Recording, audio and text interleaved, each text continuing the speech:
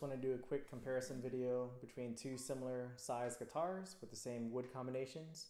Both of these have a cedar top, cocobolo back and sides. Both are small body 12 frets. This is the Lowden S35 12 fret and this is the Taylor Grand Concert 12 fret.